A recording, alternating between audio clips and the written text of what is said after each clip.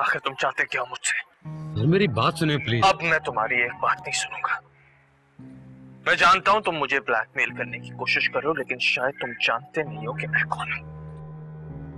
को ब्लैकमेल करके मुझे क्या फ़ायदा होगा सर? फ़ायदा ही तो है तुम्हें। कब से नहीं है तुम्हारे पास जॉब लेकिन हर महीने के आखिर में तुम्हारे अकाउंट में तुम्हारी सैलरी कौन डलवाता है? उसके अलावा तुम मुझसे लाखों रुपए बटोर चुके हो। आप जानते नहीं मेरा बेटा। क्या तुम्हारा बच्चा? कभी तुम्हारी बीवी कभी बच्चा कभी बाप इनका नाम ले लेके तुम मुझसे पैसे ले रहे हो। आज के बाद मैं तुम्हें एक फूटी कौड़ी नहीं दूँगा। सर आप ये गलत कर रहे हैं। धमकी दे रहे हो तुम मुझे?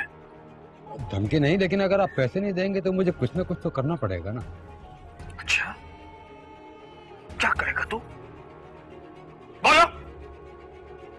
लोगों को बताओगे कि उस मुट्ठी का कत्ल मैंने किया था?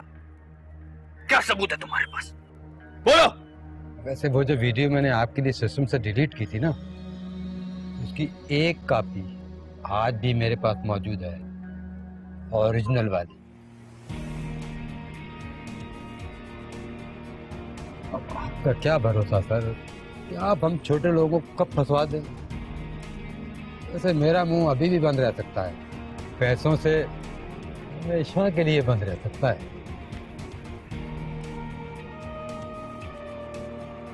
आ जाएँगे तुम्हारे अकाउंट में पैसे।